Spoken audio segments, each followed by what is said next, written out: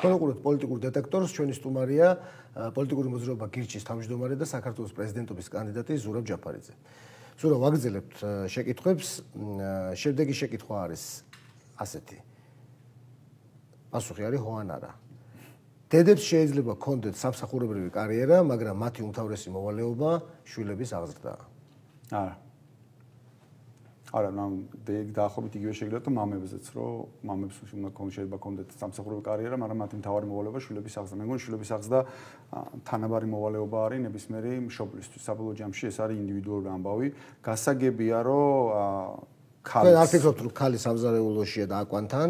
არა. და мама იკეთებს კარიერას და მოაქვს სახში ფული. არა, მე მგონი რომ შესაძლებელია რომ ოჯახის შიდა როლებიც იყოს ისე განაწილებული რომ ხალხსაც კონდეს თუ ამის სურვილი აქვს საჯაროდ რაღაცა წარმატების საზოგადო ცხოვრებაში თუ საჯარო ცხოვრებაში წარმატების მიღწევის საშუალება. მაგრამ მისი უმთავრესი მიზანი უნდა იყოს შვილების აღზრდა.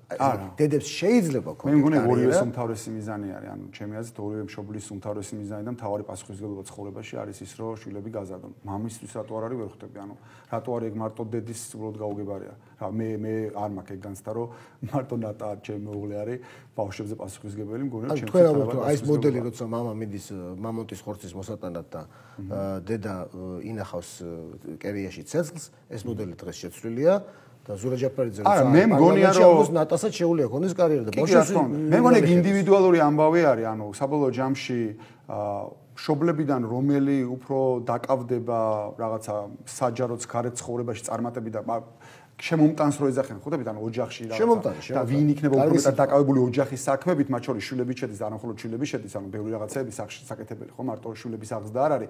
ეს გონია რომ ინდივიდუალურად ოჯახების გადასაწყვეტია. გასაგებია რომ ტრადიციულად ეს როლები სხვანაირად იყო განაწილებული და გასაგებია რომ ქალს უფრო შიგნით როლები ქონდა სახლის შიგნით და კაცს გარეთ მაგრამ არ მგონია რომ რაღაცა ეს უნდა რაღაც რაღაცნაირად ესე იყოს განსაზღვრა მგონია რომ ეს როლები ადამიანებს თვითონ შეიძლება გაინაწილოს მე მჯერა რომ ქალსა და კაცს შორის არსებობს ბიოლოგიური განსხვავებები მე მჯერა რომ დედას იმის გამო რომ დედას ბიოლოგიურად არის სხვანაირი არსება რომელიც ცხათვი ატარებს შვილს მუცელში და შემდეგ ძუძუს აჭრებს და ასე შემდეგ. მე მზერა რომ ამის გამო დედას რაღაცა სხვანაირი სხვანაირი ტიპის ბონდს როგორ არის რაღაცა კავშირები აქვს შვილებთან. ეს ეს ყველაფერი მესმის მაგრამ და მესმის რომ კაცს ეგეთი განსხვავებული ოდნავ განსხვავებული ის ანუ ამ რაღაც განსხვავებას ვაღერებ არ მჯერა რომ ყველა ერთნერები არიან რაც არის ხა თანამედროვე რაღაც პოსტმოდერნისტების რაღაცა ის ჩემი ასულეთ გიჟური აკვეტებები რომ სქესიც კი რაღაცა სოციალური კონსტრუქტია და საერთოდ განსხვავება რა ასე ეს ბოდები ამ ერთ რაღაცების ამჯერა მაგრამ არც იმის ამჯერა რომ რაღაცა ვიღაც წინასწარ უნდა იყოს განსაზღვრული რაღაცა როლები ქალისთვის და კაცისთვის რომ გინდა თორე შენ ესეთი ესე შენგან მოლოდინი საზოგადო საზოგადოების ეს უნდა იყოს რომ შენ სახში უნდა იყო და რაღაცები აკეთო და გინდა თორე კაცისთვის კაცისგან მოლოდინი ის უნდა იყოს რომ გინდა თორე შენ გარეთ უნდა იმუშაო და რაღაცა ფული იშოვო მე მგონია რომ ორივე შემთხვევაში შეიძლება იყოს ესეთის და ისეთის და თვითონ ოჯახში ქმარმა და ცოლმა თვითონ უნდა გადაწყვიტონ როგორ გაინაწილებენ ამ როლებს და მათ შორის რა უცებ შეიძლება აღმოჩნდეს ახლა. სხვა რო აღმოჩნდეს პირობითად ვიზახი რომ ნატამ შემოეუბნო დაიწყოს რაღაც ფანტასტიკური ნახატების ხატვა და რაღაცა აღმოჩნდეს რომ ეს არის რაღაცა მისი ისა რა მაშინ თქვენ წახვალთ პოლიტიკიდან? არა, პოლიტიკიდან არ წავდი, ალბათ ამას ამას ჯერ მე არ შევეშები, რასაც ვაკეთებ, იმიტომ ჯერ რაღაც ენთუზიაზმი მაქვს და ამიტომ ჯერ ამ საქმეს მე არ შევეშები, მაგრამ ხო, მგონია რომ კი, ნატამ თავისი ის უნდა იმას კი, რა თქმა უნდა. ნანაჩება უთხარო აბა ხა არ არ აკეთო ეგ და გამომართლა ბავშვი ყავს მისახედი. გამომართლა. ამ არ ვიცი ხო. წესრიგისა და უსაფრთხოებისთვის საზოგადოებამ გარკვეული თავისუფლებები უნდა დათმოს. ამ არა რთული კითხვა ძალიან. და კონტექსტიდან გამომდინარე, ახლა რომ მითხრა რომ დღეს რაღაც ეგეთი გადასაწყვეტილებები მისაღები, კი დღეს გონია რომ აა უსაფრთხოებიდან გამომდინარე აა რაღაცები უნდა დავთმოთ, მაგრამ თუ მაგ კითხვას ზოგადად შევხედავ, იდეალურ სამყაროში რაც მე წარმომიდგენია, აა თავისუფლება არის ნომერ პირველი და ცნობილი ფრაზაც არის, ხო, ის ვინც უსაფრთხოების გულში თავისუფლებაზე უარს ამბობს, მე უარს ამბობს ერთზეც და მეორეზე საბოლოო ჯამში. აა, მაგრამ ნუ კონკრეტულ მაგალითად საქართველოს მაგალითი რა ვიღოთ, დღევანდელ რეალობაში და ამ კონტექსტში, რა კონტექსტში ჩვენ ვარსებობთ, აა, მე მგონია რომ ჩვენ გვჭირდება აა თავდაცვა როგორც სახელმწიფოს და მგონია რომ ამას ამ წუთში ალტერნატივა არ აქვს და შესაბამისად ეს ნიშნავს იმას რომ ჩვენ გადასახადები უნდა გადავიხადოთ რაც არის საბოლოო ჯამში ჩვენი საკუთრების და ჩვენი თავისუფლების რაღაცა პორციის დათმობა ამაში ხო ანუ პრაგმატულად დღევანდელ რეალობას შევხედო, ესე არის, მაგრამ ზოგადად თუ არის კითხვა, რომ უსაფრთხოებისთვის თავისუფლებზე უარი უნდა თქვა თუ არა. მოდი კრიმინალზე ვილაპარაკოთ რა, ესე იგი, მოდი ეს რაღაც ავიღოთ, ადამიანი დაბნაშავე, პოტენციური დაბნაშავე, რომელიც აპირებს დანაშაულის ჩადენას, მაგალითად 2008 წელს და პოტენციური დამნაშავე, რომელიც აპირებს დანაშაულის ჩადენას 2018 წელს.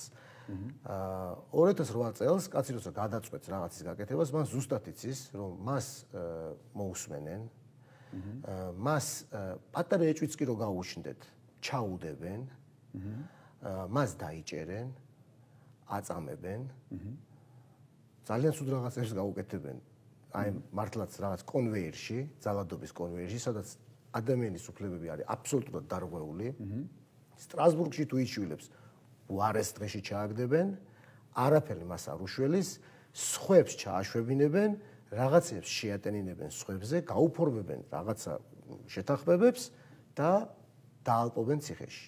ეხლა 2018 წლის კაცმა რა იცის? იცის რომ არავინ არ მოусმენს. ვერც კი დაიჭერეთ, იმიტომ რომ იმდენად შესულილია მთელი ეს პროცესუალური ასე ვთქვათ კანონმდებლობა, რომ რაღაცის დამტკიცებაც კი ძალიან ძნელი ხდება ადამიანისთვის. სამოქალაქო უფლებები პრევალირებს, ბევრად უფრო ძლიერია ეხა ადამიანის უფლებების კენარი უფრო გადახრილი სასწორი ვიდრე უსაფრთხოებისკენ.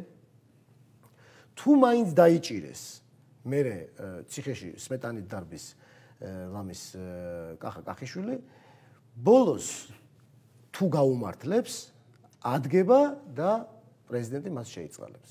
ანუ мотиваცია დანაშაულის ჩადენის დღეს, როდესაც საქართველოში ადამიანის დაჭერა უფრო ძნელია, ვიდრე ეს იყო 2008 წელს, мотиваცია იმისა, რომ მან დანაშაული ჩაიდინოს, ბევრად დიდია. შესაბამისად, ნებისმიერი ძალოვანი სტრუქტურის, ასე ვთქვათ, ხელმძღვანელის წინაშე დგება ეს დილემა. სამოქალაქო უფლებები შევზღუდოთ. და სამაგეროდ გავაძლიეროთ უსაფრთხოება. თუ პირიქით. აი ამ შემთხვევაში რა ხდება? უფ, ძალიან ისეთი თემა არის, ბევრი რაღაც ლაპარაკი შეიძლება ამაზე. ერთი მე მე მაინც არ მგონა გულწრფელად თქო გასაგებია რომ ნიშნულოვნად კარდინალურად შეცვლილი არის რეალობა მაგ თვალსაზრისით თუმცა არც ეგეთი რაღაცა კამფეტი რეალობა არ აქვს დღეს. მათ შორის იმის გამოც რომ კანონები გვაქვს იდიოტური და თვითონ სისტემა მოდი ეს რა უფრო უფრო უტრირება გავაკეთოთ რა. კი ბატონო. ნულოვანი ტოლერანტობა ყველანი ციხეში ნიშნავს იმას რომ შენ მანქანის მაგნიტოფონს არ მოგპარავენ თუ ნულოვანი ტოლერანტობა ყველანი ციხეში მოხსნი და თუ ალკაპონეს დაჭერას ვერ შეძლებ ბოლოს მოიფიქრებ იმას რომ გადასახადებს არ ხდება მაგის დაიჭერ. მაშინ შენ უნდა შეეგუო იმას რომ შენ მანქანის მაგნიტოფონს მოგპარავენ კი მე საერთოდ უბრალოდ ისე ახსნა მინდოდა და მაგასაც უპასუხებ ანუ აა ნულოვანი ტოლერანტობა ყველანი ციხეში აა იდეაში სწორი ფორმულება იმ შემთხვევაში თუ უშვებ ადამიანს ციხეში ვინც მართლა ციხეში არის გასაშვები ანუ მაგათ მოძალადეები უნდა იჯდნენ ციხეში მაგრამ არც ერთ შემთხვევაში მაგალითად რაღაცა 1 გრამი MDMA-ის გამო ადამიანს ხაწას არ უნდა იხდეს ციხეში. ადამიანი რომელსაც იდეაში არავისთვის არაფერი არ დაუშავება და არ არსებობს ადამიანი რომელიც მასზე იტყვის რომ მე ვარ მისგან დაზარალებული. ამის თქმა მინდა. აა მაგრამ თქვენაც ლაპარაკობთ რაზეც საუბრობთ მაგისი არსი პრობლემის სინამდვილეში მდგომარეობს იმაში რომ აა ჩვენ გვაქვს ცენტრალიზებული სამართალდამცავი სტრუქტურა, რომელიც არის სახელმწიფოს ხელში და ეს არის ინსტრუმენტი, რომელსაც სხვადასხვა ხელისუფლებები სხვადასხვანაირად იყენებენ და უბრალოდ წინა ხელისუფლებამ აა გამოიყენა ბევრი მიმართულებით ძალიან ცუდად. ანუ თვითონ თუ გამოსავალზე საუბრობთ, ახლა რა უნდა იყოს აქედან გამოსავალი, ჩემს გამოსავალი უნდა იყოს ის, რომ ეგეთი ცენტრალიზებული ინსტიტუტი საერთოდ არ უნდა არსებობდეს და ეგეთი საფრთხე სახელმწიფოსგან არ უნდა მოდიოდეს და მაგ შემთხვევაში ჩვენ გვექნება პოლიცია, რომელსაც გაცილებით მეტი ნდობა ექნება მოქალაქეების და პოლიცია, რომელიც გაცილებით ადამიანური იქნება და მათ შორის აი ჩემთვის ტესტი არის ხოლმე სტუდენტებს ვეკითხები ხოლმე გეშინიათ თუ არა პოლიციელების და როგორც წესი პოლიციელების ეშინიათ. გასაგებია რომ მაშინ უფრო ეშინოდათ, ეხაც რო ვეკითხები, ეხაც ეშინიათ, იმიტომ რომ რაღაც ისტორიებს ყვებიან რომ რავი ღამე რომ მოვდივარ ფოტოს გადამიღებენ და რა თუნდაც არ ვიცი და რაღაც უხეშად მელაპარაკებიან და ასე შემდეგ. ეგეთი პოლიცია უნდა არსებობ ყველგან. ხო და არ პოლიციაში ყველაზე უხეშად ლაპარაკობს ნიუ-იორკის პოლიცია. ხო, იქაც სახელმწიფოს ხელშია და რა თქმა უნდა. ხო, მაგრამ არსებობს პოლიცია რომელიც არ იქცევა ეგრე უხეშად რა. ანუ პოლიცია რომელსაც პირდაპირ აქვს მის განცდა რომ ის არის შენი დაქირავებული. მაგალითად რა ვიცი დაცვის პოლიცია ხო არსებობს ამ ქვეყანაში? თუ რო ყავდეთ დაცვის პოლიცია დაქირავებული წარმოგიდგენთ იმან რომ ეგრე უხეშად მოგექცეთ? არა ხო? საქართველოს პოლიციაც ხო არ აქვს განცდა რომ თქვენი დაქირავებულია ის იმიტომ რომ კავშირი არის გაწყვეტილი სინამდვილეში მაგის ორგანიზება შესაძლებელია ისე რომ პოლიცია არ იყოს ეგეთი ცენტრალიზებული ინსტიტუტი, რომელსაც აქვს ძალადობაზე მონოპოლია და რომელიც არის უხეში და იქცევა ისე როგორც უნდა. და გასაგებია რომ სხვადასხვა ხელისუფლების შემთხვევაში ეს ინსტრუმენტი ხან უხეში, ხან უფრო უხეში იქნება, ხან ნაკლებად უხეში იქნება, მაგრამ თუ ფუნდამენტში გამოსწორება გვინდა ამ პრობლემის, გამოსწორება, გამოსწორების გზები იდეაში არსებობს. ეგეთი ინსტიტუტი აღარ უნდა იყოს ცენტრალიზებული. მაგალითად, არ ვიცი, ზუგდიდის პოლიციის უფროსი რო იყოს არჩეული ზუგდიდის ზუგდიდელების მიერ დაწუნებული, ზუგდიდში პოლიცია მოიქცევა საერთოდ სხვანაირად. იმიტომ რომ ეცოდინება რომ აა თუ არა და დაკარგავს იმ თანამდებობას, იმიტომ რომ ზუგდიდლებმა აირჩიეს. ანუ დეცენტრალიზებული იყოს თავი რომ დავანებოთ, ხა მე კიდე უფრო მჯერა საერთოდ საპოლიციო ფუნქციები შევა კერძო იყოს საერთოდ მაგისის მჯერა, მაგრამ ნუ ეგეთ იმაში ვარ გადავიდეთ ახლა. აა ძალიან შორს რა წავიდეთ და გასაგები რომ იყოს კონკრეტული ბმა თუ იარსებებს მოქალაქეებსა და პოლიციას შორის გონია რომ ეგ ახმა უფრო ექნება ადამიანებს რომ ამ ადამიანის დაქირავებული ვარ და როგორ შეიძლება მას ახლა უხეშად მოვექცე. კარგი. ასტროლოგია ბევრ რაღაცას სწორად ხსნის. აა არა. ახსნა აღარ გვინდა, კი ბატონო. თო, საერთოდ რას ხსნის არ ვიცი. აგნაციაში ვერ ვიყავი, მაგრამ ჩემზე ცხრაპრებია. კი ბატონო.